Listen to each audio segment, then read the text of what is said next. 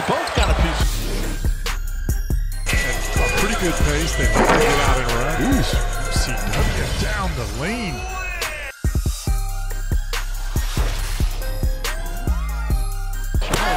Carter Williams flying through the air.